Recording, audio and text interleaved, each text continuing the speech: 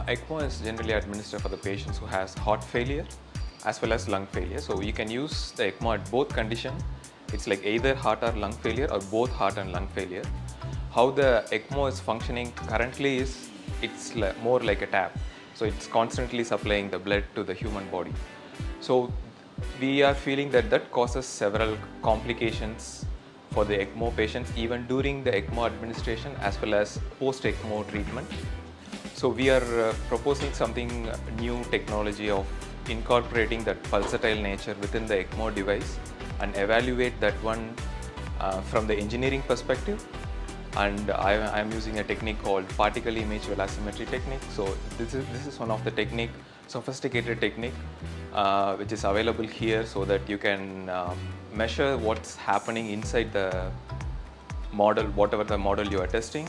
So in my case, it's like I am using the human aorta model. So I am just fabricating that one using a silicon and using the particle image velocimetry technique, I can able to measure what's the flow which is happening inside the human aorta model by changing the different uh, inlet conditions from the ECMO device. I am building the uh, human aorta model.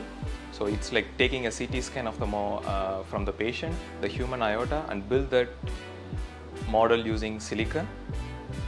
So that will be my test models. Whatever the flow patterns which is happening inside, we can able to capture using the camera. So you can use some other uh, materials, but the silicon is more uh, transparent as well as you, you have you, you can get some compliance from the silicons that are able to mimic somewhat more realistic when compared to the other materials.